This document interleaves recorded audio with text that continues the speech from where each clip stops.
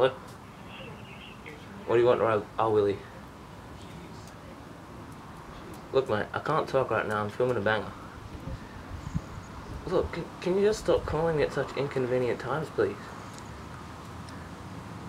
I don't care if you've left gear. Alright, you've off- I don't care about the spot. I'm on Luksa. Okay. Bye, mate.